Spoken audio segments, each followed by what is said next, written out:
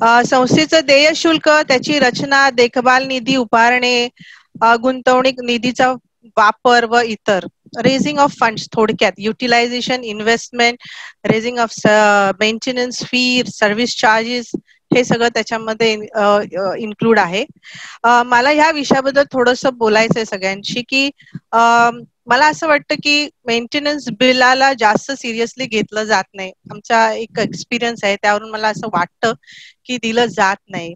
कारण असू शकतात की बऱ्याचदा त्यांना ते सोपं वाटतं त्यात काय एवढं मोठं आहे एवढे हा खर्च आला हा लावून टाकला हे असं ऍड केलं असं असते.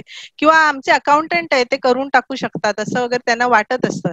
पण मला माझं मत असं आहे की हा विषय अतिशय किचकट आहे आणि हा टॉपिकमध्ये कॉन्स्टिट्युशनल प्रोव्हिजन्स केलेले आहेत. त्यामुळे त्याला लिगल बेस खूप आहे. त्यामुळे त्या लिगलॅलिटी प्रमाणे केल्यामुळे संस्थेच्या मेंटेनन्स बिल हे चांगल्या प्रकारे तुम्ही आकारणी करू शकता चार्जेसची असं मला वाटतं. की बऱ्याचदा असं दिसून येतं की बिल्डरनी सुरुवातीलाच एक लमसम अमाऊंट लावलेली असते. Square foot into ten rupees fifteen rupees आणि नंतर जेव्हा सोसायटीचे कमी मॅनेजिंग कमिटी चार्ज घेते ती तेच कंटिन्यू करते. आणि त्याप्रमाणेच चार्जेस लावत असते. पण मग अशा वेळी काय होतं की या चार्जेस मध्ये ब्रेकअप कळत नाही. मग ब्रेकअप नाही कळत. मग फंड्समध्ये किती पैसे जात आहेत मग त्या फंड्स पैसे किती गेलेले आहेत? ते अलोकेट होत आहेत की नाही? अप्रोप्रिएट होत आहेत की नाही? ते इन्व्हेस्ट होत आहेत की नाही? मग वेळेला जेव्हा युटिलाइज करायचं असतं त्यावेळी खूप कन्फ्युजन तयार होतं. त्यामुळे ह्या गोष्टी मग नंतर कठीण होत जातं आणि मग त्याच्यामध्ये भरपूर डिस्क्रिपन्सीज तयार होतात. आणि मग ते मॅनेजिंग कमिटी नंतरच्या येणाऱ्या मॅनेजिंग कमिटीला पण डिफिकल्ट पडत जातं. तर असं अशा मेंटेनन्स बिलमध्ये चुकीच्या हेडिंग खाली आकारणी करतात बऱ्याचदा किंवा आकारणीच करत नाही. एने टॅक्सच घेतला नाही. असे बिल आम्ही बघितले आहेत. किंवा एज्युकेशन फंडमध्ये दहा रुपये सुद्धा चार्ज नाही केले. त्याच्यासाठी सुद्धा कंप्लेंट झालेले बघितलेत किंवा बऱ्याचशा आकारणीसाठी जनरल बॉडीचं रेझोल्युशन लावलेले नाही आहेत नाही घेतलेले आहेत असं पण आपण बघितलं जातं. त्यामुळे जरी वरवरून असा विषय जरी सोपा वाटला आणि मॅनेजेबल वाटला तरी तसा तो नाही आहे. त्याच्यामधून पूर्णपणे समजून घेण्याची आवश्यकता आहे. तरी मला दिलेल्या विषयावर मी एक प्रेझेंटेशन तयार केलेलं आहे. तर मी आपल्या बरोबर तो प्रेझेंटेशन शेअर करते.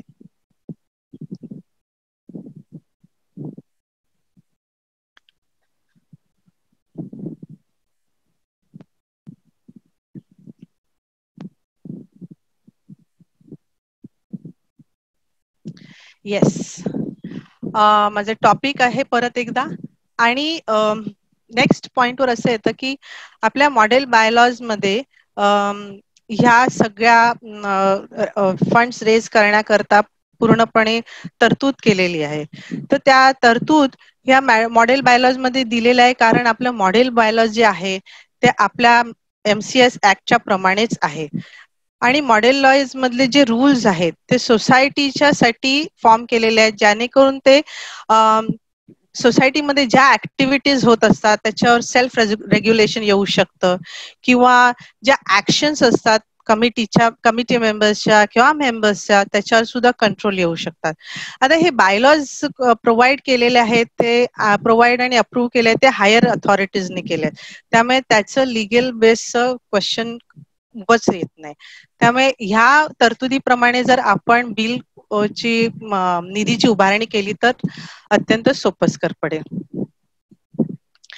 तर आपण आता या model बायलॉजमध्ये raising of funds for cooperative सोसायटीजमध्ये काय दिलेलं आहे ते आपण बघूया. तर we let start with bylaw number seven ज्याच्यामध्ये आपल्याला असं दिसून येतं की funds their utilization and investment हे त्या पूर्ण अंतर्गत त्या चॅप्टरच्या अंतर्गत आहे. तर पहिला बायलॉ नंबर सेव्हनमध्ये असे दिलंय की modes of raising funds of the society सर्व फंड जे उभे राहतात ते किंवा मेंटेनन्स किंवा कसं चार्जेस आहे ते सगळं ह्याच्यामध्ये कलेक्टिव्हली घेतले तर आपल्या संस्थेला एंट्रन्स फीज येत असते. त्याच्यानंतर शेअर कॅपिटल आपण उभं करत असतो.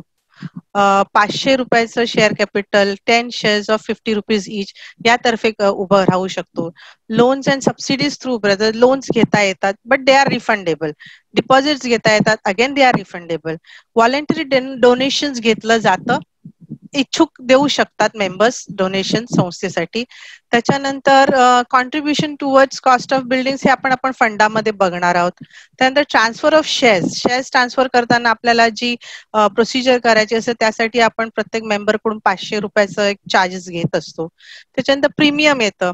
Twenty five thousand is the maximum amount you from take from the member मिनिममसाठी general बॉडीची आपण परमिशन घेत असतो. त्याच्यानंतर इतर स्टॅच्युटरी फंड रेझिंग असतं. नॉन ऑक्युपन्सी चार्जेस घेता येतं. किंवा आपल्या प्रिमायसिसमध्ये लीज हायर करता येतो ओपन स्पेस कॉर्पस फंड तर्फे एक फंड उभा करता येतो. आता let's go to share capital पूर्वी शेअर कॅपिटल अडीचशे रुपयाचा होता. पण जसं अमेंडमेंट झालं त्याच्यानंतर पाचशे रुपयाचा शेअर कॅपिटल उभा करायचं प्रोव्हिजन तरतूद दिलेली आहे शासनाने. त्यामुळे प्रत्येक संस्थेला पाचशे रुपयाचा शेअर कॅपिटल उभा करता येतो. Going to the first reserve fund कसा तो उभा करायचा? हा त्याच्या त्या फंडामध्ये कुठल्या टाईपचे पैसे जातात ते आपण बघूया. जर बायलॉन नंबर ट्वेल्वमध्ये आपण बघितलं तर आपल्याला असं दिसून येतं की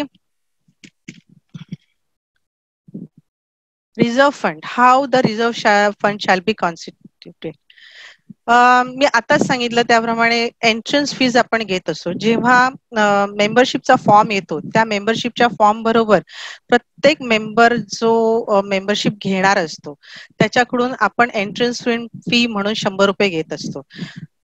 First member joint member associate member nominal member each membership फॉर्ममध्ये आपल्याला हंड्रेड रुपीजचं फी प्राप्त होते. ही ह्या रिझर्व्ह फंडात जाते. त्यांचे ट्रान्सफर फीज मी आताच म्हटलंय की ट्रान्सफर फीज जे आपण हे सगळं प्रोसिजर करत असतो transfer of the flat from the old owner to the new owner त्याच्यासाठी जी आपण प्रोसिजर करतो त्यासाठी आपल्याला फी घेण्याची तरतूद केलेली आहे. That is rupees five hundred आपण घेत असतो. त्याच्यानंतर प्रीमियम. प्रीमियम आपल्याला माहितीच आहे की ट्वेंटी फाय थाउजंड हे मॅक्सिमम अमाऊंट आपण एका मेंबरकडून घेऊ शकतो. जेव्हा जुना फ्लॅट विकल्यानंतर नवीन फ्लॅटमध्ये ट्रान्सफर करत असतो त्यावेळी ती आपण ट्रान्सफर फी घेत असतो. आणि त्या फी मध्ये जर का स्मॉलर फ्लॅट असेल तर त्याची कमी ट्रान्सफर ऑफ प्रीमियम घेण्याची जर जनरल बॉडीची रेझोल्युशन पास झालं असेल तर त्याप्रमाणे त्याच्यापेक्षा कमी घेता येतो. पण that require subject to the resolution. But 25,000 is the max amount you can take for transfer premium. त्याच्यानंतर चार आणि पाच तसं बघायला गेलं तर हाऊसिंग सोसायटीसाठी ऍप्लिकेबल नाही आहे कारण का हाऊसिंग सोसायटी ही नॉन प्रॉफिटेबल ऑर्गनायझेशन मानली जाते आणि त्यामुळे हे इतर सोसायटी करता असल्यामुळे हे वास्तविक पाहता होत नाही याला ऍप्लिकेबल परंतु जेव्हा रिझर्व्ह फंडमध्ये एक सबस्टॅन्शियल अमाऊंटची रक्कम उभी राहते त्यावेळी आपल्याला त्याच्या त्याचा जर अमाऊंट आपण फिक्स केल्यास आपल्याला त्याचा जर इंटरेस्ट मिळू शकतो. आणि चांगलं इंटरेस्ट हा नक्कीच संस्थेला फायदेशीर होऊ शकतो. तर it is up to the general body to decide की आपल्याला ह्या संदर्भात आपल्याला काय करायचे असेल. त्याच्यानंतर आपण बघू शकता की appropriation of amount of the reserve fund की जेवढी ही जेवढे हे प्राप्त झालेली आहेत फीज ही रिझर्व्ह फंड मध्येच गेली पाहिजे. तर आपण एंड ऑफ द इयर जेव्हा आपलं अकाउंट बनवतो जे आपले स्टेटमेंट बनतं त्या अकाउंटमध्ये रिझर्व्ह फंडाच्या खाली हे अमाऊंट आलेले आहेत ते अप्रोप्रिएट झाले पाहिजेत ते दिसले पाहिजेत.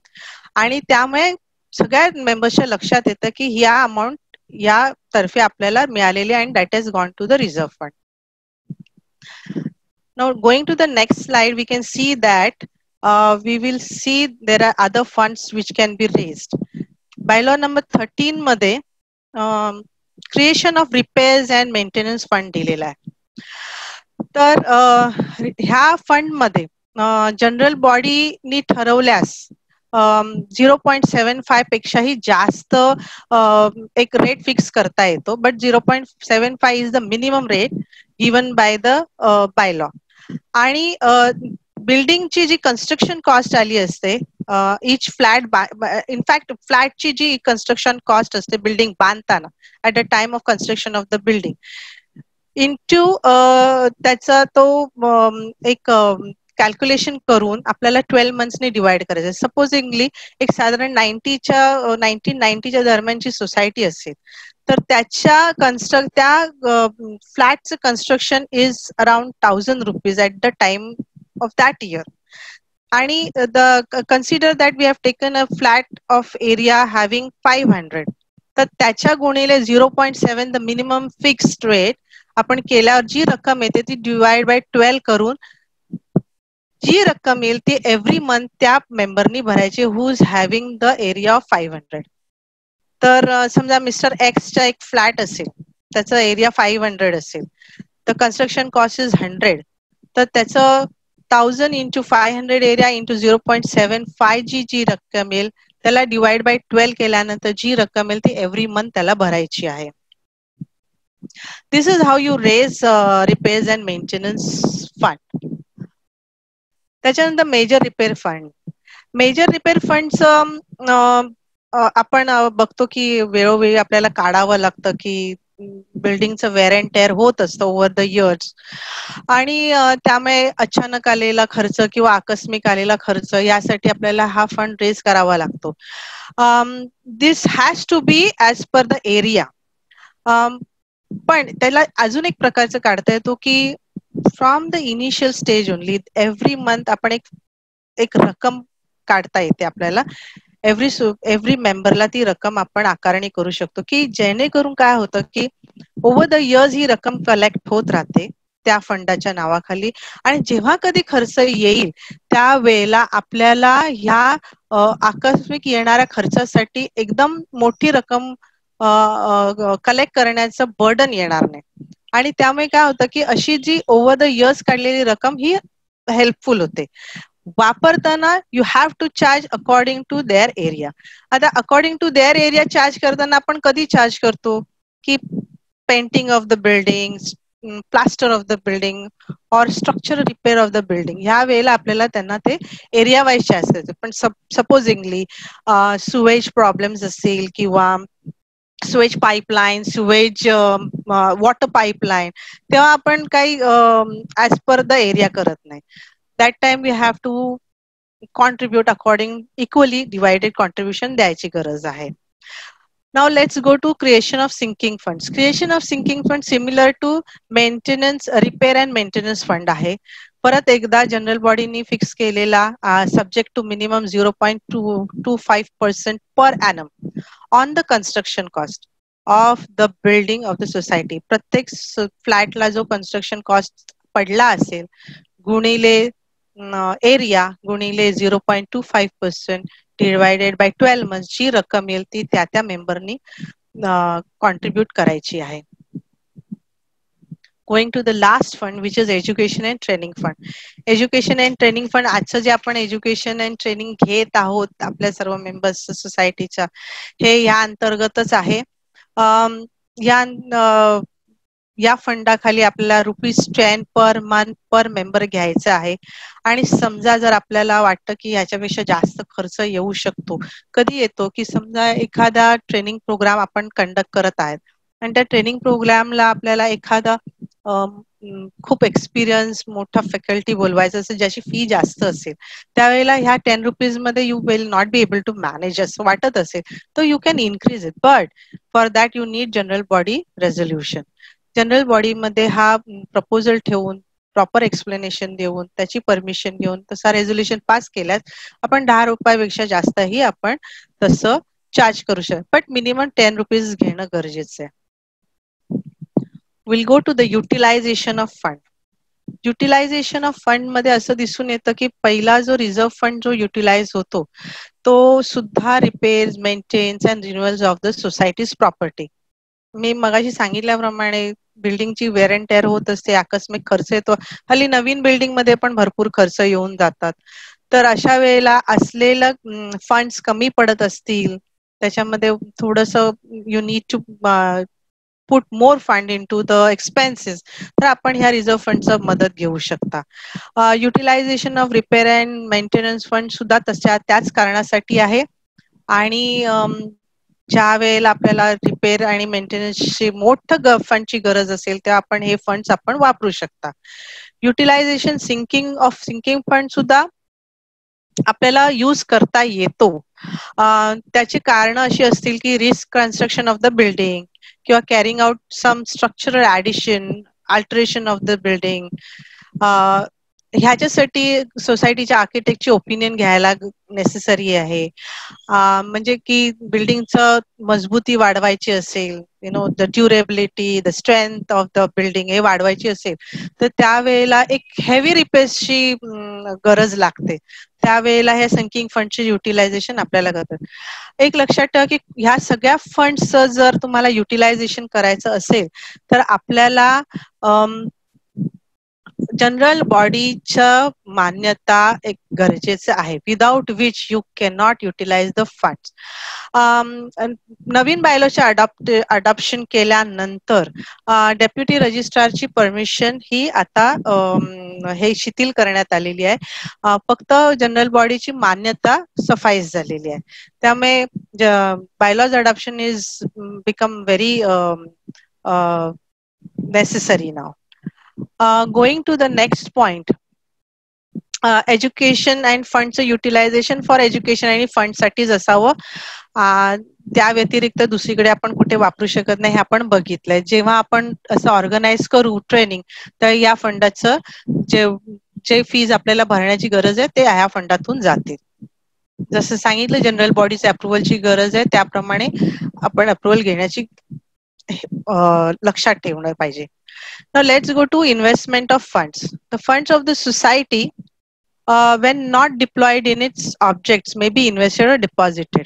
आता समजा ऑब्जेक्ट्स आपल्याला माहिती आहे काय आहेत welfare of the building administration of the society या सगळ्या गोष्टी ह्या ऑब्जेक्ट्स आहेत आपल्या तर जेव्हा त्याचा वापर होत नसेल या फंडांचा तर त्यांचं इन्व्हेस्टमेंट करणं गरजेचं आहे. जसं मी म्हटलं की we can we can fix this amount and we can get a interest get an interest on it which can be utilize for the purpose of welfare administration of the society again तर um, तर त्या ते investment गरजेचं आहे आणि MCS act मधल्या seven section seventy मध्ये त्याची तरतूद केलेली आहे.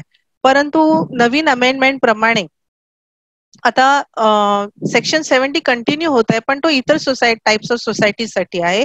आणि housing सोसायटीसाठी section one fifty four B seventeen हे टाकलेलं आहे. ज्याच्या अंतर्गत आपल्याला कसं इन्व्हेस्टमेंट करता येतं ह्या फंडचं ते दिलं तर a society shall invest or deposit its fund in district central cooperative bank state cooperative bank आपण टीडीसीसीबी मध्ये करतो ठाण्यामध्ये. तर तसं त्या बँकेमध्ये. किंवा स्टेट कोऑपरेटिव्ह बँक जिला A audit class for last three consecutive years मिळालं असेल. सपोजेडली असे सेंट्रल सेंट्रल बँक नसतील तर नॅशनलाइज बँकमध्ये सुद्धा तुम्ही डेपॉझिट करू शकता. दुसरा तरतूद केली आहे की any securities specified in twenty of the Indian trust act त्याच्यानंतर तिसरी तरतूद आहे in shares or security bond debenture issued by any other society with limited म्हणजे कोऑपरेटिव्ह क्रेडिट सोसायटी वगैरे यांचे असतील. In any other mode permitted by the rules or by the general special general or special order issued in that behalf by the state government ह्या तर्फेच आपल्याला ह्या सगळ्या investment करायच्या ज्याची तरतूद एमसीएस ऍक्टमध्ये दिली आहे त्याप्रमाणेच करायचे याच्या व्यतिरिक्त किंवा ह्याच्या हे नाही केले तर तो ऑफेन्स म्हणून मानला जातो. नवीन ज्या अमेंडमेंट झाल्या आहेत section one fifty four B eighteen मध्ये सुद्धा त्यांनी सांगितलं आहे की funds mention in foregoing section म्हणजे आधीच्या सगळ्या सेक्शनमध्ये जे दिलेले आहेत की बायलॉज प्रमाणे केलं पाहिजे. ते परत त्यांनी एकदा नमूद केलेलं आहे की याप्रमाणेच करायचं म्हणजे कन्फर्म केलेलं आहे. Provided that a corpus fund may be utilize for the purpose as may be decided in the general body आता हा कॉर्पस फंड आहे तो जनरल बॉडी मिटिंगची मान्यता घेऊन त्याचं युटिलायझेशन करू शकता. मग ते गरजेनुसार होऊ शकतं. आता हे जे इन्व्हेस्टमेंटची तरतूद केलेली आहे कॉन्स्टिट्युशनल तरतूद जी केलेली आहे त्याप्रमाणे जर सोसायटीनी इन्व्हेस्टमेंट नाही केला तर त्याच्याला त्याला MCS ऍक्टच्या section forty six under office offence म्हणून मानला जातो. तर त्याच्यात काय तरतूद दिली आहे की एक committee of a society or an officer or member thereof fails to invest funds of such society in the manner required in section 154 b 17 जे आपण चार बघितले central bank state cooperative bank or the shares debentures bond हे जे दिलेत त्या अंतर्गत जर नाही केली तर तो वन फॉर्टी सिक्स खाली ऑफेन्स ठरतो. हा जर ऑफेन्स जर प्रूव्ह झाला तर त्याच्यानंतर त्याच्या पनिशमेंट आहेत. सेक्शन वन फॉर्टी सेव्हन खाली पनिशमेंट दिलेले आहे की if it is an offence under clause C of that section then there is a fine which may extend to rupees five thousand त्या कमिटीला त्या ऑफिसरला त्या मेंबरला फाईव्ह थाउजंड फाईन हा आकारला जातो. Now here I would like to specify की फाईन छोटा वाटेल पण फाईन होणं इट्स नॉट गुड एक चांगलं प्रेसिडेंट नाही आहे. It is sort of a stigma की सोसायटीला सोसायटीच्या मेंबरला ते आवडणार नाही की आपल्याला फाईन भरावं एक तर कोणाला कळतच नाही की केवढी मोठी घन चूक झालेली आहे. पण याला फाईन पडला असं करून आपल्याला एक स्टिग्मा पडून जातो. त्यामुळे it is better to follow whatever is given in the act आता आपण डे टू डे खर्च जो एक्सपेन्सेस असतात सोसायटीमध्ये त्याच्याकडे जाऊया. Bylaws number sixty फाईव्हमध्ये composition of charges of the society ची तरतूद केलेली आहे. आता ह्या ज्या कंपोजिशन आहेत या ज्या रचना आहेत चार्जेसच्या या आपल्याला साधारणतः अंदाज असतो की हा हा खर्च सोसायटीला डे टू डे मध्ये येणार असते म्हणून bylaw number ninety five E मध्ये तुम्ही बघाल की अॅन्युअल जनरल बॉडीचं फंक्शन आहे. त्याच्यामध्ये बघाल की आपल्याला अॅन्युअल बजेट बनवून सादर करायचंय. त्या जनरल बॉडीमध्ये त्या अॅन्युअल बजेट जर आपण मॅनेजिंग कमिटीत जर तयार केलं पुढच्या फिजिकल इयरसाठी आधीच्या वर्षी जो खर्च आला पुढच्या वर्षी काय खर्च येईल याचा अंदाज घेऊन जो एक बजेट बनवला जाईल त्याच्यामुळे आपल्याला पुढच्या खर्चासाठी एक चांगलं रचना तयार करून जनरल बॉडीच्या समोर ठेवता येईल. त्यासाठी आता आपण बघूया की काय चार्जेस इन जनरल सोसायटीला पडत असतात. ऍव्हरेज चार्जेस काय येत असतात?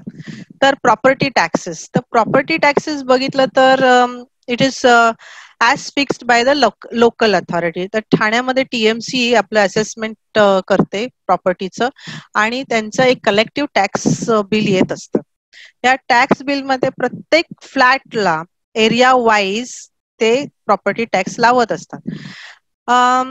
You the the managing committee जेव्हा बिल देते तर त्या फ्लॅटचं त्या मेंबरचं त्या फ्लॅटच्या एरिया वाईज जे आलेलं बिल आहे ते लाव ते ऍड करत असतात. जर आपल्याला इंडिव्हिज्युअल टॅक्स बिल हवं असेल तर आपण त्याप्रमाणे ती प्रोसिजर टीएमसी मध्ये जाऊन करू शकतात. तो जो फॉर्म भरायचा आहे तो देऊ शकतो. जे काय पेपर्स त्याच्यामध्ये अटॅच करू शकतात. जर सोसायटीने आधीच्या वर्षापर्यंत पूर्ण टॅक्स भरलेला असेल तर आपल्याला इंडिव्हिज्युअल टॅक्सचं पावती मिळू शकते. आणि इट इज ऍडवायजेबल की ते इंडिव्हिज्युअल टॅक्स पावती असणं गरजेचं आहे. It is up to the member to decide whether he wants to pay collective or pay individually पण हे प्रोव्हिजन आहे. तर as fixed by the local authority is the property taxes त्याच्यानंतर आपल्याला एक मिनिट. वॉटर चार्जेस बघायचे आहेत. Water charges मध्ये on basis of total number and size inlets provided in each flat असं बायलॉ मध्ये तरतूद जरी केलेली असेल तरी आपल्याला माहिती आहे की आपल्याकडच्या लोकल अथॉरिटी टीएमसी यांनी आपल्याला काय चार्जेस केले आहेत? तर वन बीएच केला वन एटी रुपीज आणि टू बीएच ला टू सिक्स्टी रुपीज असा कन्सिडर केला असेल. वन बीएचके ला वन सिक्स्टी त्याच्यात डबल झाला तर टू सिक्स्टी केलाय. त्याप्रमाणे कन्सिडर केलाय. जसा बिलचं जसं वॉटर बिल येत असेल फ्लॅटच्या समोर जो बिल येत असेल तोच आकारणी करण्याचा गरज आहे. इनलेट्स किती आहे तुमचा फ्लॅट किती मोठा आहे हे पाहण्याची गरज नाहीये. जे बिल येतं त्याप्रमाणे भरणं गरजेचं आहे.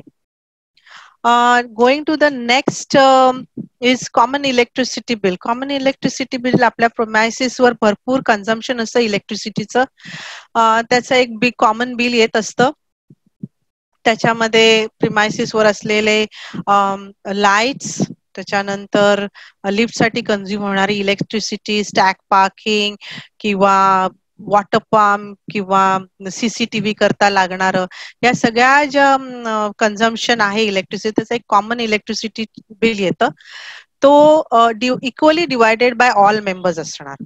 त्यामुळे त्याच्यामध्ये काय एरिया वगैरेचा प्रश्न येत नाही. त्यामुळे equally divided by the members of the society हे लक्षात ठेवण्याची गरज आहे.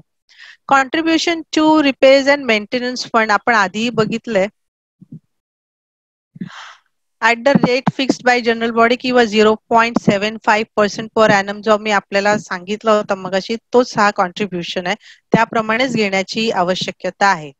Expenses on repair funds repairs and maintenance of the lifts of the society and charges for running of lifts. आता इथे आपण बऱ्याचदा बघतो की एएमसीज असतात अॅन्युअल मेंटेनन्स कॉन्ट्रॅक्ट असतात. त्याच्यामध्ये हे रिपेअर आणि मेंटेनन्स लिफ्टचं इन्क्लुसिव्ह असतं. आता त्याच्यामध्ये इतर चार्जेस येऊ शकतात की लिफ्टमॅन आहे किंवा त्याच्यामधले काही कधी पार्ट्स काय कधी लावायला लागले असेल तर ह्या एक्सपेन्सेस याच्यामध्ये ऍड केल्या जातात.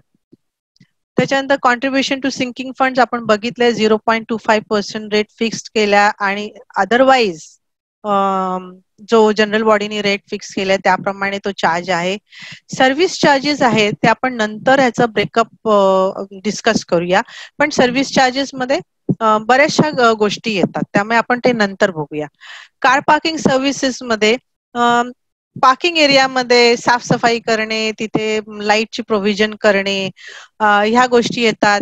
किंवा कवर्ड पार्किंग असेल तर त्याचं प्रॉपर्टी टॅक्स असेल तर ते त्याच्यामध्ये इन्क्लूड करून तो एक चार्ज त्या मेंबरला whoever has availed parking service त्याला देण्यात येतो.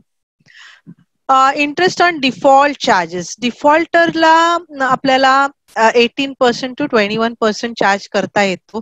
सो तू जर जनरल बॉडीने ठरवलं असेल की आपल्याला एटीन पर्सेंट चार्ज करायचं असेल तो मॅक्झिमम आज ट्वेंटी वन पर्सेंट त्याप्रमाणे आपण त्याला चार्ज करू शकतो. Now the interest charge is interest is charge on the services whatever maintenance bill you are giving him okay all the facilities आता संस्था समजा एखादा मेंबर हा डिफॉल्ट करत असेल त्याच्या चार्जेसवर for number of months okay त्याचा जे खर्च आहे त्याच्या वतीने येण्याचा खर्च आहे तो संस्था भरत असते. असं नाही की त्यांनी नाही भरलं तर भरणा झालेली नाही. भरणा ही झालेली असते. त्या बिलातर्फे पैसे गेले असतात त्या प्रॉपर्टी टॅक्ससाठी पैसे गेले असतात त्या वॉटर चार्जेस साठी पैसे गेलेले असतात सगळ्याच्या भरणा झालेल्या असतात. पण त्याची जी रिकव्हरी कॉन्ट्रीब्युशन आली पाहिजे असते ती येत नसते. सो जेव्हा एखादा मेंबर आपल्याला हे पैसे भरत नसतो वेळेवर. त्यावेळी कोणीतरी बरत आहे म्हणून त्याचे जे आपण रिकव्हरी करतो त्याला आपण इंटरेस्ट लावू शकतो. आणि हे इंटरेस्ट लावताना जनरल बॉडीची मान्यता घेणे गरजेचं आहे. तर जितका महिने त्यांनी नाही दिलं असेल त्याला per annum twenty one percent पर्यंत आपण चार्ज करू शकतो. Repayment of installment of loan and interest loan आणि इंटरेस्ट हे एक payment of the installment of loan and interest मी म्हटलंच ते आपल्याला लोन अँड इंटरेस्ट भरावं लागतं. तर जे काय लोन असतात ते आपल्याला इक्वली डिवायडेड बाय ऑल मेंबर्सचं इन्स्टॉलमेंट भरतायत भरावं लागतं. नॉन ऑक्युपन्सी चार्जेस जे फ्लॅट रेंटवर दिले जातात त्या त्या फ्लॅट त्या त्या रेंट वर दिलेल्या फ्लॅट्सना जे मेंटेनन्समध्ये आपण सर्व्हिस चार्जेस जे चार्ज करत असतो ज्या सर्व्हिसेस आपण देत असतो मेंबर्सना त्या सर्व्हिसेसवरच आपल्याला ten percent non occupancy charges लावायचे असतात. सपोजिटली तर आपला service charges thousand eight hundred and fifty पडत असेल तर आपण त्या मेंबरला टेन पर्सेंट त्या सर्व्हिस चार्जेसवर लावायचं असतं. म्हणजे साधारण वन एटी फाय रुपीज आपल्याला लावता येतो त्याच्यापेक्षा जास्त घेऊ शकत नाही. इन्शुरन्स चार्जेस बिल्डिंगला इन्शुअर करणं गरजेचं असतं. त्या इन्शुरन्स चार्जेस जे येतात इव्हेंच्युअली त्याचे आणि इक्वली डिवायडेड सॉरी हे इक्वली येणार नाही as per the area of the flat असतं. The built up areas of each flat provided if there is increase in the insurance premium due to storing of any specific goods in any flat used for commercial purposes the extra burden of insurance premium shall be shared by those who are responsible for such increased premium in proportion of the built up areas of their flats त्याच्या घरामध्ये ज्या मेंबरच्या घरामध्ये असे specific goods आहेत की ज्याच्यामुळे जे commercial पर्पजसाठी वापरला जातो त्याच्यामुळे जर प्रीमियम वाढत असेल तर त्या पर्टिक्युलर मेंबरला तो शेअर शेअरचं बर्डन घ्यावं लागतं. In proportion with with their area next is non agricultural tax this is land revenue tax आहे. बऱ्याचदा आपलं सगळे ऍग्रिकल्चर लँड असावी आणि त्याचं ऍग्रिकल्चर लँड असावी. आणि त्याचं जेव्हा बिल्डिंग कन्स्ट्रक्शनच्या का हे लँड घेण्यात आले. त्यावेळेला त्याला नॉन एग्रिकल्चरचं ऑर्डर घेऊन घेण्याची गरज असते. आणि जेव्हा अशी ऑर्डर घेता घेण्यात येते त्यावेळी त्या लँडला एक टॅक्स लावला जातो which is non agricultural tax हा टॅक्स लँड रेव्हेन्यूच्या डिपार्टमेंट मधून प्रत्येक सोसायटीला येतो. त्याची जी अमाऊंट असते ती आपल्याला प्रत्येक मेंबरला चार्ज करायची असते. Again this is area wise charges education and training fund आपण बघितलं दहा रुपये पर मेंबर पर युनिट घ्यायचं आहे. आणि जास्त हवं असेल तर जनरल बॉडीची परमिशन घ्यायची असेल. इलेक्शन फंड मेंबर्सच्या स्ट्रेंथ प्रमाणे इलेक्शन फी फिक्स केलेली आहे. ती आपल्याला त्यावेळेला द्यावी लागत असते तर ते equally divided by each member असणार. एनी अदर चार्जेस मध्ये आपल्याला बरेच काही काही वेगळ्या वेगळ्या सर्व्हिसेस सोसायटीजमध्ये असतात फॉर एक्झाम्पल सोसायटीमध्ये सीसीटीव्ही असतो किंवा स्टॅक पार्किंग असतात. तर त्यावेळेला ह्यांच्या एएमसीज घ्यायची गरज असते. जिथे लिफ्ट आहे तिथे जनरेटर येतो. त्या जनरेटरची एएमसी या ज्या एएमसी असतात त्यांचे चार्जेस असतात. तर त्या इक्वली डिवायडेड बाय करून टाका करावे लागतात. ह्या सगळ्या इतर चार्जेस आहेत त्याची सुद्धा जनरल बॉडीची मान्यता घेणं गरजेचं असतं. Coming to the next bylaw sixty six breakup of service charges आता बऱ्याच वेळा काय होतं ब्रेकअपच देत नाही म्हणून कंप्लेंट करत असतात मेंबर्स तर म्हणून let's understand what are the breakup of service charges तर आपल्या सोसायटी करिता जे आपण एम्प्लॉय एम्प्लॉय केलेले जे हे असतात सर्व्हिस पीपल असतात त्यांचे सॅलरीज ह्या ह्याच्यामध्ये मोजल्या जातात. Salaries of office staff liftman असेल तर लिफ्टमॅन वॉचमॅन माळीज असतात किंवा अकाउंटंट असतात बऱ्याच ठिकाणी मॅनेजर्स असतात. They are all employees of the society तर ह्यांचा एक पगार असतो. तर तो पगार या सर्व्हिस चार्जेस मध्ये येतो आणि which is equally divided by all members सोसायटीमध्ये इंडिपेंडेंट ऑफिस असल्यास त्या ऑफिसचा प्रॉपर्टी टॅक्स येतो इलेक्ट्रिसिटी चार्जेस येतात एक्सेट्रा मध्ये आपण बघूया की कम्प्युटर घेतला त्याच्यानंतर प्रिंटर घेतला तर ह्याचे जे चार्जेस असतात ते equally divided by all members येतात. Then printing stationery and postage प्रिंटिंगमध्ये बऱ्याच सोसायटीना झेरॉक्सचा खर्च भरपूर येत असतो. मिनिटचे झेरॉक्सेस करून प्रत्येकाला कॉपी देणं त्याच्यानंतर बऱ्याचशे डॉक्युमेंटचे झेरॉक्सेस करून हर एक मेंबरचे फाईल्स बनवणं वगैरे. तर त्यामध्ये हा जो खर्च असतो तो मोठा असतो. तो लक्षात येत नाही पण बऱ्यापैकी असतो सबस्टॅन्शियल अमाऊंट त्यामुळे तो एक चार्जेस मध्ये मोजला जायला पाहिजे. Travelling allowance and conveyance charges to the staff and the members of the committee बऱ्याचदा सोसायटीच्या कामानिमित्त वेगळ्या वेगळ्या ऑफिसेसना टीएमसी मध्ये म्हणा डेप्युटी रजिस्ट्रार म्हणा लँड रेव्हेन्यू ऑफिस म्हणा जाणं येणं गरजेचं पडतं किंवा काही सोसायटी करता कामाच्या गोष्टी आणणं वगैरे. त्यावेळेला जो कन्व्हिन्सचा ट्रॅव्हलिंगचा खर्च येतो तो सुद्धा आपण या सर्व्हिस चार्जेस मध्ये लावण्याचं गरज आहे. Sitting fees paid to the members generally members घेत नाही. ऑनररी काम करतात. सगळे स्वतःहून काम करणारेच भरपूर असतात त्याच्यामध्ये.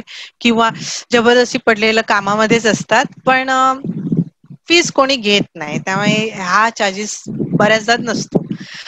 Subscription to the education fund राज्य सहकारी संघटनेला आपण जो एज्युकेशन बनतो पण देतो.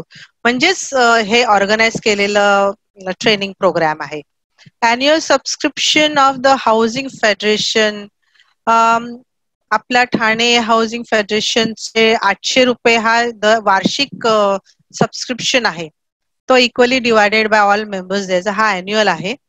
त्याच्यानंतर entrance fees to affiliation to housing federation आणि कोऑपरेटिव्ह इतर कुठलं हे असेल हाऊसिंग फेडरेशनशी आपण अटॅच तर त्याची फीज जी असेल ती द्यायची गरज असते. त्याच्यानंतर audit fees for internal statutory आणि रिऑडिट इंटरनल ऑडिटर हा ऑप्शनल आहे पाहिजे असल्यास आपण ठेवतो. पण स्टॅट्युटरी ऑडिटरचं तर नेमणूक ही स्टॅट्युटरी आहे त्यांची जी फीज आहे ती आपल्याला देण्याची गरज आहे. ती equally divided by all members reaudit जर कधी आला प्रसंग ती करावी लागली तर त्याची पण फीज देण्याची गरज आहे.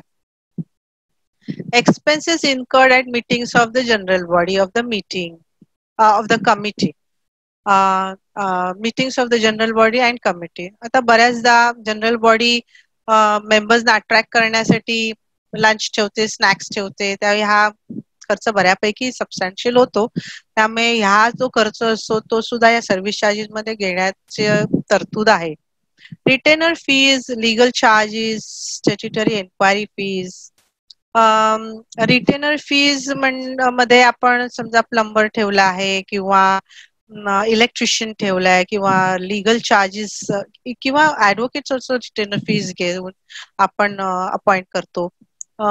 किंवा एखाद्या केसेस मध्ये आपल्याला लिगल चार्जेस पडलेले आहेत. त्याच्यानंतर स्टॅट्युटरी एन्क्वायरी फीज एखादी एन्क्वायरी लागलेली असेल तर त्याची जी फी आहे ती भरावी लागते. या सगळ्या फीज आहेत या सुद्धा आपल्याला चार्ज करण्याची गरज आहे. कॉमन इलेक्ट्रिसिटी चार्जेस आपण कव्हर केल्या equally divided by all any other charges approved by the general body at its meeting जसं मी मगाशी म्हटलं त्याप्रमाणे हे चार्जेस आहे सगळ्या एएमसीज त्याच्यानंतर पार्किंग नॉन ऑक्युपन्सी इन्शुरन्स हे आपण मगाशी घेतलं होतं ते याच्यामध्ये येतात. या सगळ्या चार्जेस जे आपण आकारणार आहेत एखादी सोसायटी आकारणार असेल तर त्या ह्या बायलॉजच्या प्रमाणेच असायला पाहिजे. बायलॉजला कॉन्ट्राडिक्ट करू शकत नाही किंवा ऍक्टला करू शकत नाही याची आपण काळजी घेतली पाहिजे. ज्या दिवशी ते कॉन्ट्राडिक्ट करेल त्या दिवशी it will be eligible for a complaint filed before the appropriate uh, authority. Going to the next uh, bylaw is 67B. Um, the committee shall fix in respect of every flat the society charges on the basis laid down as under bylaw 67A. ज्या sixty सेवन ए मध्ये जसं आपल्याला chart दिलाय जसं tabular form मध्ये दिलाय त्याप्रमाणे fix करणं गरजेचं आहे आणि हे काम कमिटीचं आहे. तर committee shall do it going to the next bylaw is bylaw number 68 repairs and maintenance to be carried out by the society. आता आपण रिपेअर्स अँड मेंटेनन्स फंड तर काढतोय. रिपेअर फंड पण काढतोय. गरजेला कधी कधी स्पेशल रिपेअर फंड पण काढतो. हे काढलेले फंड ह्याचा वापर कुठे जातो? तर bylaw number sixty eight A मध्ये दिलेला आहे. ऑल इंटरनल रोड्स सोसायटीच्या अंतर्गत जे रोड्स असतात त्या रोडची डागडुजी. त्याच्यानंतर कंपाऊंड वॉल असतात त्याची डागडुजी करणे. किंवा एक्सटर्नल वॉटर पाईप लाईन्स आहेत. ह्या पाईपलाईन्स ओव्हर द इयर्स खराब होतात किंवा करोड होतात. तर त्याच्यामुळे पाण्याचं हे कमी होतं जोर कमी होतं त्यामुळे ते रिप्लेस करण्याची गरज आहे. कुठे फुटतात वगैरे असं तर ते करण्याची गरज आहे. वॉटर पंप असतो. वॉटर पंप हा वेळोवेळी त्याचं हे करत राहायला पाहिजे. रिपेअर करणं गरजेचं आहे. कारण पाणी मिळ न मिळणं म्हणजे एक मोठा इश्यू असतो एखाद्या सोसायटीमध्ये वॉटर स्टोरेज टँक्स ह्या वॉटर स्टोरेज टँक्सचं काळजी घेणं गरजेचं असतं. त्यांची साफसफाई वेळोवेळी झाली पाहिजे. त्याच्यासाठी लागणारे कव्हरिंग आणि इतर जे गोष्टी असतात त्याची वेळोवेळी काळजी घेतली पाहिजे. वॉटर हा बहु बहु फारच महत्त्वाचा भाग आहे आपल्या सगळ्या जीवनातला आणि खास करून सोसायटीमध्ये. पाणी एक एक तास जरी आलं नाही तरी बोंबाबोंब होत असे आपल्या सगळ्यांना माहिती आहे त्यामुळे तिथे व्यवस्थित मेंटेनन्स होणं गरजेचं आहे. ड्रेनेज लाईन्स व्यवस्थित होणं तर फारच त्याचे कंप्लेंट्स आले येत असतात. त्यामुळे त्याच्यामध्ये कॉन्स्टंट क्लिनिंग वगैरे करण्यासाठी टीएमसी मधून बोलवणं मग त्यांचे ते पैसे असतात. ते त्यांना द्यावे लागतात टँक साफ करण्याचे. त्याचे ते त्याच्यात बराचसा फंड जातो. सेप्टिक टँक्स असतं क्लिनिंग त्याच्यानंतर आपला स्टेअर केस असतात बिल्डिंग्समध्ये. त्या स्टेअर केस मध्ये क्लिनिंग असणं लाईट्स प्रॉपर प्रॉपर असणं किंवा स्टेअर केस मध्ये सिनियर सिटीजनसाठी पाईप हँडल वगैरे करून देणं या सगळ्या खर्च असतात. तर तो सुद्धा या फंड करावा लागतो सोसायटीला नंतर टेरेस आणि पॅरापेट वॉल्स हे सगळं त्याच्यामध्ये येतं. हे लिकेजेस जे असतात टेरेसेस मधून येतात. हे बघावं तर पॅरापेट वॉल मधून येत असतात. त्याच्यामुळे फ्लॅटच्या आतमध्ये लिकेजेस येतात. त्यामुळे स्ट्रक्चरला प्रॉब्लेम होत जातो. त्यामुळे ह्या सगळ्या रिपेअर आणि मेंटेनन्स करणं गरजेचं असतं. टेरेसचा तर इश्यू होतच असतो वारंवार. कारण आपल्याकडे अजून परफेक्ट तसं कोटिंग अजून आलेली नाहीये. ओव्हर द इयर्स काही ना काही इश्यू येत राहतात लिकेजचे. Structural repairs for all roofs all of all flats जिथे जिथे फ्लॅट्समध्ये रूफ्स असतील तिथे तिथे आपल्याला त्यांचे रिपेअर्स करणं गरजेचं असतात. स्टेअर केस लाईट्स व्यवस्थित असणं अतिशय महत्त्वाचे असते. जिथे जिथे आपल्याकडे सीसीटीव्ही असेल आणि स्टेअरक्लेस लाइट तर काय ते सीसीटीव्ही मध्ये तुम्हाला दिसणारे कोण आला आणि गेलं? त्यामुळे या सगळ्या लाईट्स व्यवस्थित असल्या पाहिजे. स्ट्रीट लाईट्स व्यवस्थित असलं पाहिजे. की कितीही उशिरा आल्यानंतर सुद्धा इन्सिक्युरिटी वाटली नाही पाहिजे. ह्या सगळ्या गोष्टी काळजी घेतल्या गेल्या पाहिजे. External walls of the building सुद्धा या अंतर्गत येतात. आणि त्याचं सुद्धा मेंटेनन्स अँड रिपेअर वेळोवेळी करणं गरजेचं असतं. All leakages of water including leakages due to rain water and leakages due to external common pipeline and drainage line या लिकेजेस असतात. रेन वॉटर तर टेरेस मधून येतं किंवा चिरा पडलेल्या भिंतींमधून येत असतं. त्याचं पण मेंटेनन्स करणं गरजेचं असतं. त्याच्यानंतर लिकेजेस ड्यू टू पाईपलाईन आपल्या भिंतीला लागून ज्या पाईपलाईन आणि ड्रेनेज लाईन असतात त्या कधी कधी लीक होत असतात. त्याच्यामुळे तिथे झाड येतात झाड येतं असं छोटस. किंवा मग त्याच्यामध्ये थोडस ग्रीनिश पॉन्ज टाईप तयार होतं. हे सगळं त्याच्यामुळे बिल्डिंगला बिल्डिंगच्या स्ट्रक्चरला धोका निर्माण होऊ शकतो. त्यामुळे या गोष्टी सुद्धा रिपेअर केले पाहिजे वेळच्या वेळी. Electric lines up to main switches in the flats हे सगळं सोसायटीचं काम आहे. मेन स्विचेस पर्यंत जेवढी जी इलेक्ट्रिक लाईन आहे ही वेळोवेळी बघितली गेली पाहिजे. For the safety of all flats and members and the building लिफ्टची maintenance गरजेचं आहे. लिफ्टमध्ये अडकणं हे अत्यंत ट्रॉमॅ ट्रॉमॅटिक आहे. त्यामुळे लिफ्ट ही एम सी कडून व्यवस्थित मेंटेन झाली पाहिजे याचं बघणं गरजेचं आहे.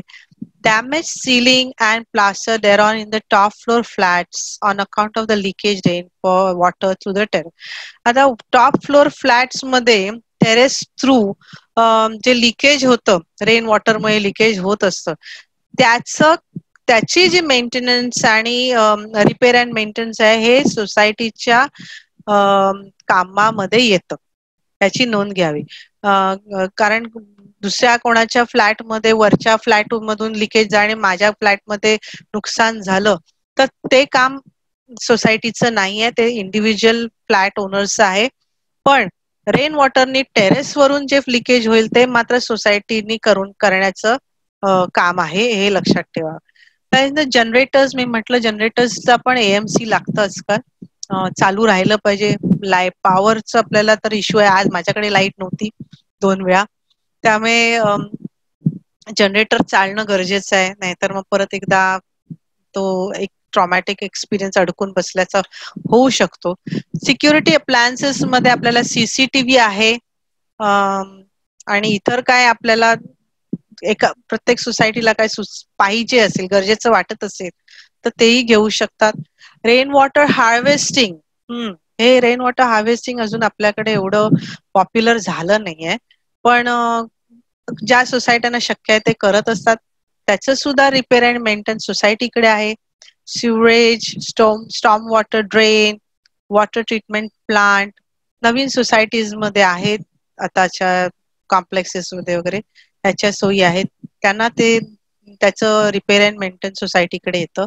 Common areas not specific allotted to anybody like swimming pool gym sauna bath coffee आता ह्या सगळ्या नवीन नवीन सोसायटीज ज्या तयार होतात विथ कॉम्प्लेक्स यांच्याकडे या सगळ्या फॅसिलिटीज आहेत. त्याचे repair and maintain is with the society common parking spaces हे आपण बोललोय ओपन असेल कवर्ड असेल स्टॅक असेल स्टॅक uh, ची मशीन असते मेकॅनिझम असतं. त्याचे सुद्धा एमसीज असतात. ते सुद्धा बघावं लागतं.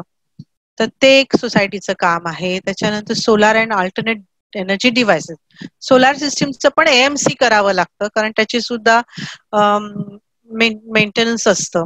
गार्डन आहे कम्युनिटी हॉल आहे या सगळ्या ज्या फॅसिलिटीज एखाद्या संस्थेकडे असतील त्याचे सगळ्याचे रिपेअर अँड मेंटेनन्स हे सोसायटीच्या अधिकारात येतं.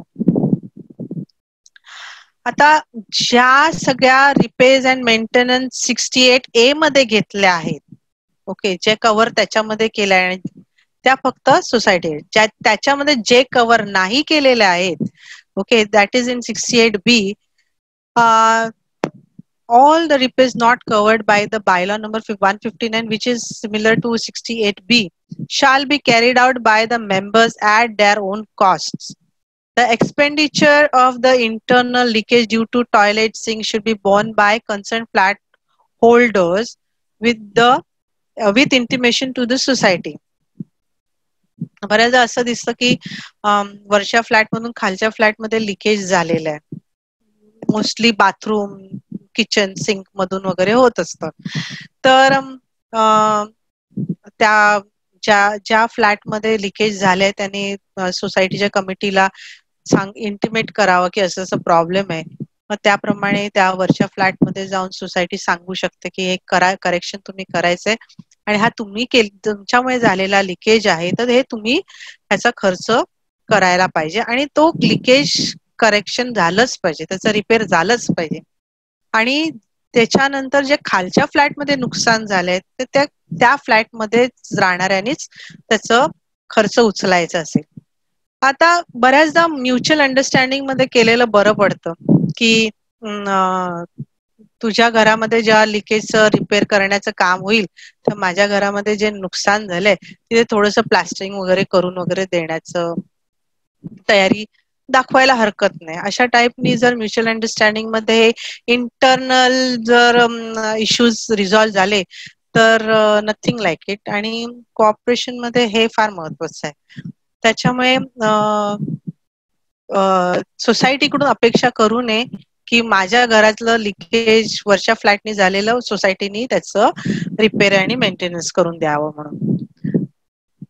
going to the next is uh, bylaw number 69 the secretary of the society shall prepare bill demand notice one fifty four B twenty nine हा अमेंडमेंट प्रमाणे जे आपण बिल इश्यू करतो प्रत्येक मेंबर्सना मेंटेनन्स बिल हेच त्यांचं डिमांड नोटीस समजलं जातं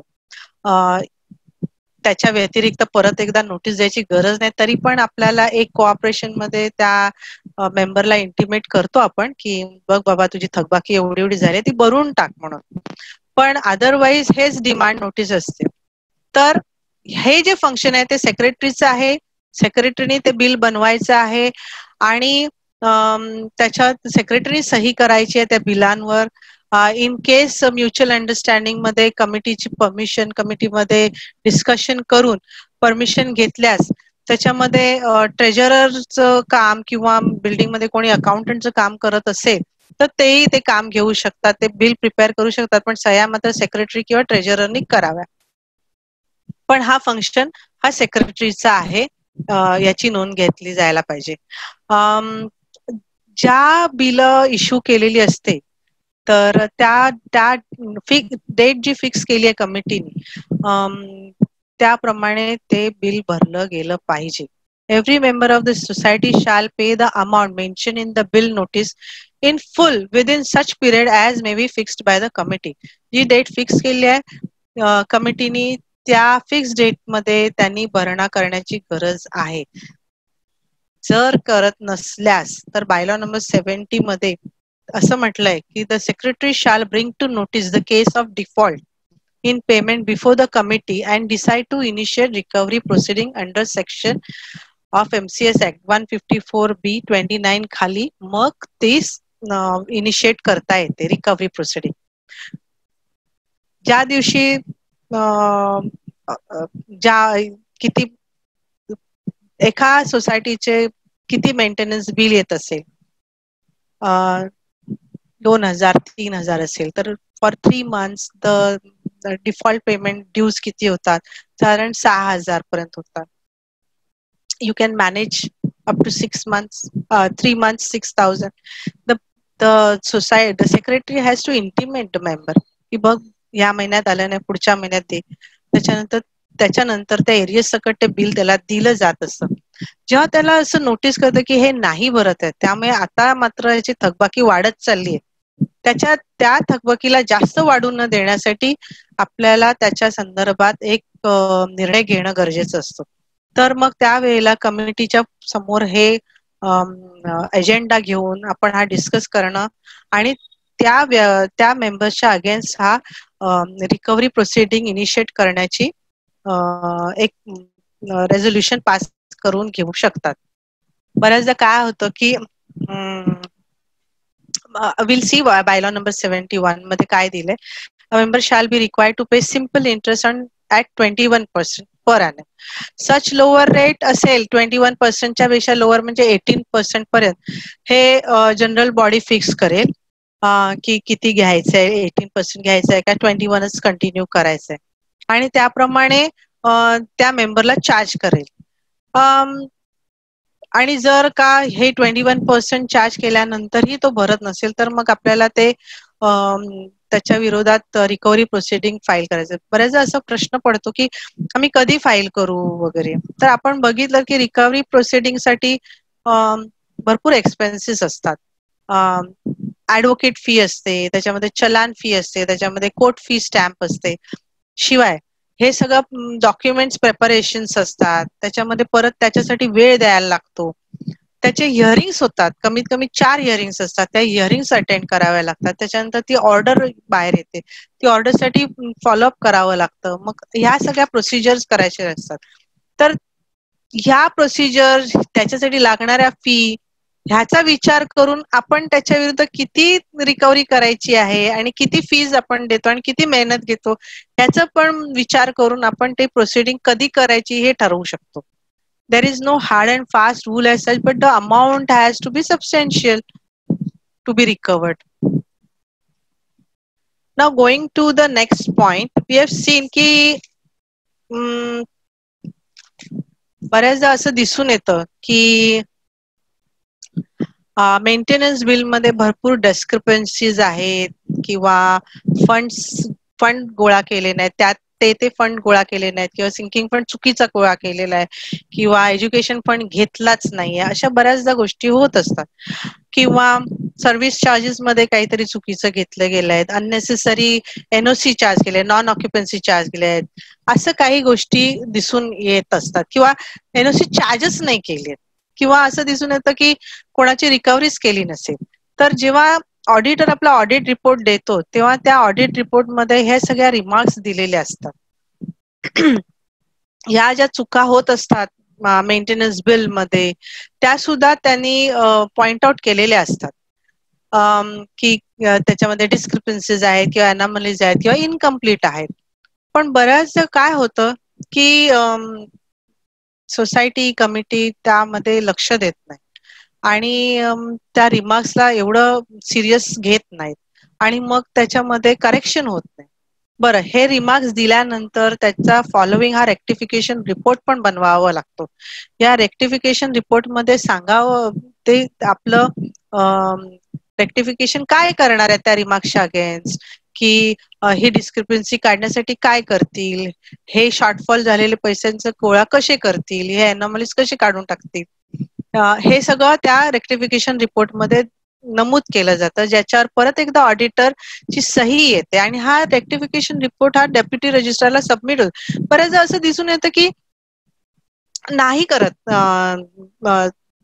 काही कमिटी किंवा काही सोसायटी मी तर आम्ही तर असं बघितलंय की एका सोसायटीमध्ये अकाउंटंटच एक काम करतोय.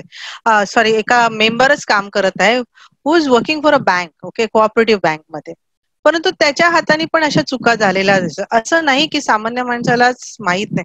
Even those are working in this field also many times त्यांना जरा ह्या माहितीबद्दल थोडस नाहीये नॉलेज कंप्लीट नॉलेज परंतु तरीही लॉ आहे ना तो आपल्याला फॉलो करायचा आहे. त्याप्रमाणे तो रेक्टिफिकेशन रिपोर्ट जर सादर केला तर आपल्याला बऱ्याचशा गोष्टींचं मध्ये लक्षात येईल की आपल्याला काय करेक्शन करायचंय असं एक माझं मत आहे.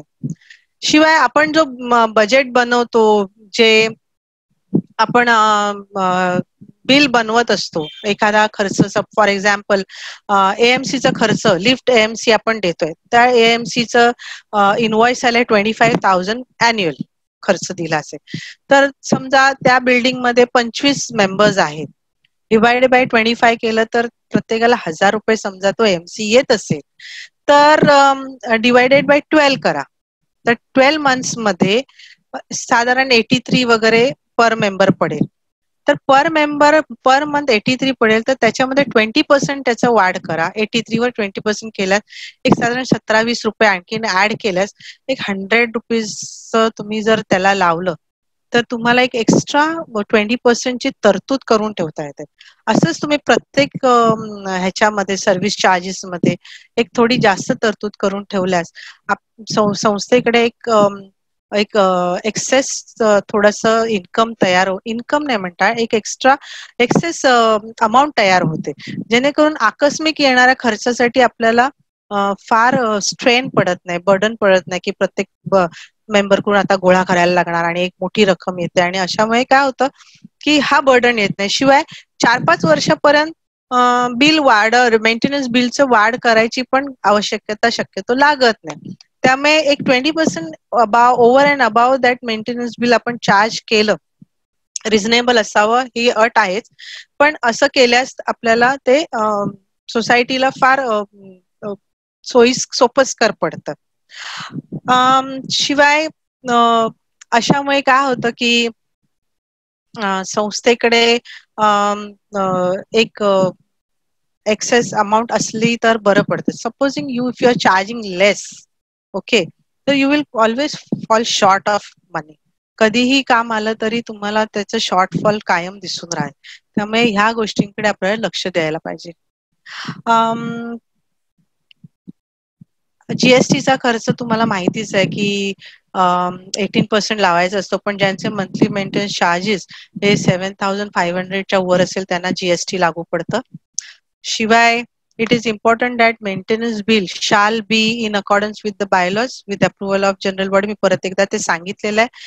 कुठलेही डिस्प्युट्स अवॉइड करण्यासाठी ह्या सगळ्या चार्जेस व्यवस्थित बायलॉज प्रमाणे इन्कॉर्पोरेट करून घ्या बिलमध्ये शिवाय जेव्हा कधी आपल्याला एखादा ऍप्लिकेशन फॉर रिकव्हरी टाकायचं असतो तेव्हा त्याचं लेजर जे काढतो त्या मेंबरचं अकाउंट लेजर जेव्हा काढतो त्यावेळेला जर मेंटेनन्स बिल करेक्ट चार्ज केलेलं असेल तर ते लेजर अकाउंट लेजर काढायला सोपं पडतं. त्यामुळे आपण ह्या गोष्टीकडे व्यवस्थित लक्ष दिल्यास डिफॉल्टरकडून ड्यूज घ्यायला जास्त त्रास पडत नाही.